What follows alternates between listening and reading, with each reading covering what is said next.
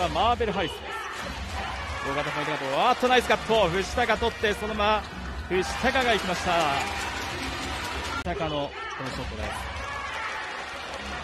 なかなかこのディフェンスというところもね昨シーズンまで課題があった奈良ショットも非常に魅力的です。菰田は元福岡の選手でもあります。その菰田ドライブ。ミドルショット菰田沈みました。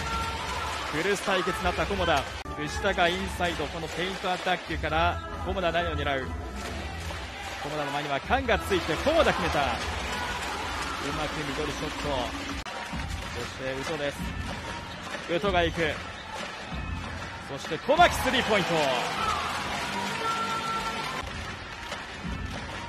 新加入同士のこの連携。宇都から小牧の連携でスリーポイント。パスが入ってカンポストアップ。何を狙っていくショットクロック2秒。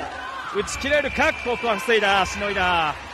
ショットクロックバイオレーション。インサイド強さゴードンに対してしっかりと。ディフェンス。板橋が入るときはこの2ガードでトップからスリーポイント板橋でこれが2クォーター入ってからの板橋です。プロ2年目となるこの板橋。この時間入ってきています。福岡です。レフティスサはドライブでいってさあ決めました。得点です。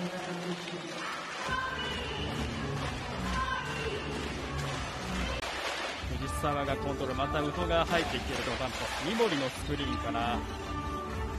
高岡スリー決めた。高岡のスリーです。カンも激しくいくがもう一度拾い直して宇都ここに入った3人がかりでいく。エンドワン。バスケットカウント。ワンショット。ここです。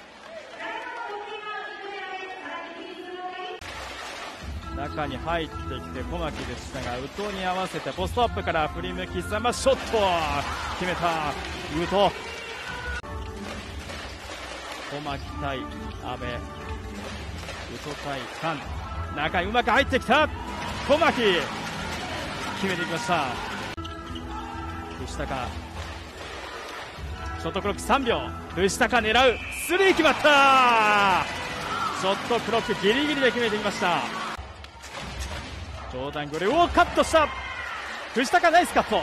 そして走り込んでいた。藤高ワンハンドダンク。藤高の代名詞。ワンハンドダンク。あと1点でグリがオーダーに乗ると。いうところでここは三森が行きました。